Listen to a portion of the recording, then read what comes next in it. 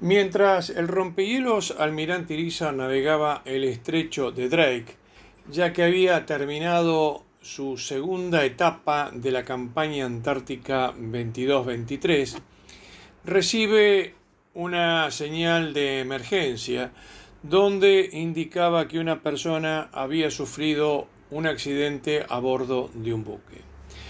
Este buque es el Bipo Víctor Angelescu. Eh, vamos a explicar un poquito primero qué es este BIPO, qué significa. Es un buque de investigación pesquera y oceanográfica. Es un barco que tiene su asiento en el puerto de Mar del Plata. Depende del Instituto Nacional de Investigación y Desarrollo Pesquero, el INIDEP, y a su bordo van especialistas de pesca, y personal del CONICET.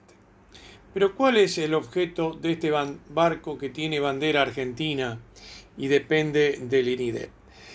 Tiene que hacer distintas tareas oceanográficas y además determina la cantidad, la abundancia de distintas especies que hay en el mar argentino, de forma tal que los barcos comerciales que trabajan en la pesca y están autorizados por la República Argentina, puedan ir directamente a pescar a esa zona y no tengan que hacer eh, navegaciones eh, inútiles tratando de conseguir lo que ellos necesitan. Y si no tendrían que sacar otras especies que por ahí no son de utilidad y con ello lo que se logra es depredar el mar argentino.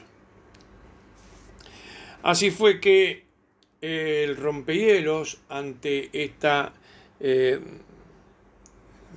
esta comunicación SAR, SAR significa Search and Rescue, que es búsqueda y rescate. La Armada tiene la responsabilidad de la búsqueda y rescate en el mar. Ya este tema lo hemos explicado en otros eh, videos. De todas formas, lo vamos a dejar plasmado al final del video. Los que quieran ver cómo funciona el sistema de búsqueda y rescate en la República Argentina, que también es sumamente interesante para aquellos que navegan deportivamente. Así que el comando del rompehielos decidió poner proa a la zona donde estaba el Angelescu. El Angelescu tenía como zona de trabajo las Georgias, pero fue el encuentro más o menos a 350 millas al sudeste de la isla de los estados.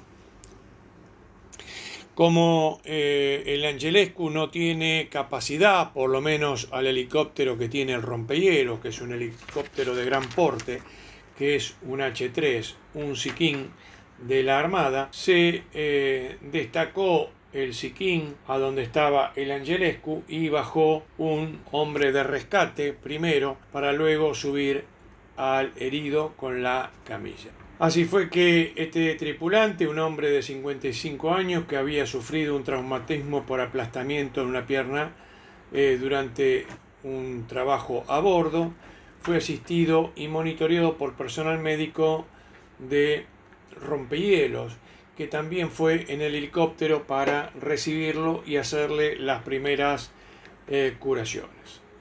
Así que una vez que el hombre estuvo a bordo del helicóptero, fue trasladado al rompehielos Almirante Irizar, donde ya se le practicaron las primeras atenciones médicas Pensemos que el rompehielo tiene un sistema médico totalmente instalado y luego fue trasladado al Hospital Naval de Ushuaia donde continúa con su recuperación. Así, de esta manera, el rompehielos hizo, además de la campaña antártica, eh, una ayuda de búsqueda y rescate para solucionar el problema de esta persona.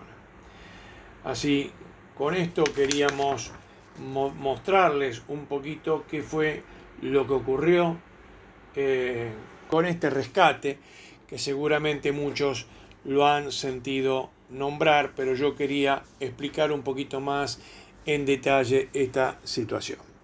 Gracias por acompañarnos como siempre y compartir este video. Será hasta un próximo video. Muchas gracias.